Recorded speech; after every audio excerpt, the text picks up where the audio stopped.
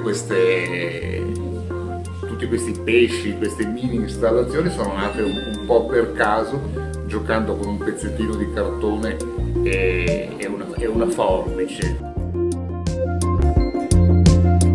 Tagliando ho visto che poi piegando queste frange che si erano create veniva fuori una lisca, una lisca bellissima di un pesce. Ho fatto il mio primo pesce.